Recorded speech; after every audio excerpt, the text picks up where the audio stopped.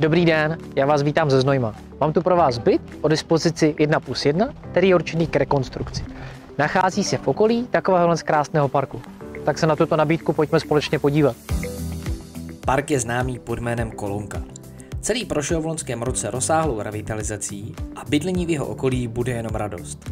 Město do něj investovalo více jak 40 milionů korun a park tak nabízí plnohodné zázemí nejenom pro rodiny s dětmi, ale i pro mládež a seniory díky klidovým zónám.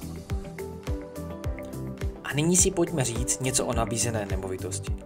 Byt je sice v původním stavu, ale celý dům prošel rozsáhlou revitalizací. I když se jedná o původní cihlovou zástavbu, v domě byl vybudován moderní výtah. Nebudete tak limitováni třetím poschodím, ve kterém se byt nachází.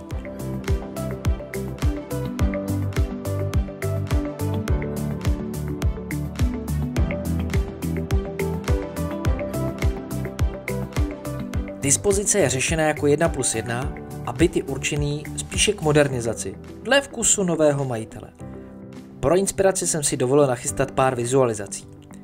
Celková podlahová plocha je přes 38 metrů čtverečních a skládá se z obývacího pokoje, kuchyně, předsíně a koupelny s toaletou.